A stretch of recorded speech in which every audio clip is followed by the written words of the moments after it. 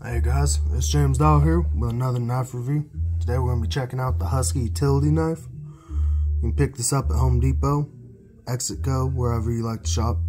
I seen it go from 15 to $26. Pretty nice, pretty nice. It's a utility knife, as I said, so you, you know, you have your razor blade, disposable, interchangeable.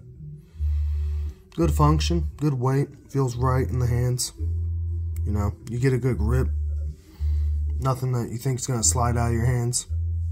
The metal actually has a pretty nice texture to it. Got a little warning logo right, right there. On the other side, you have little instructions on how to unlock the blade and slide it out to replace it. Just a good and quality knife. Just good quality finish.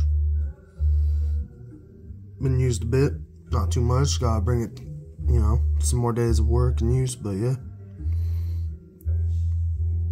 Just a good, just a good piece of steel right here.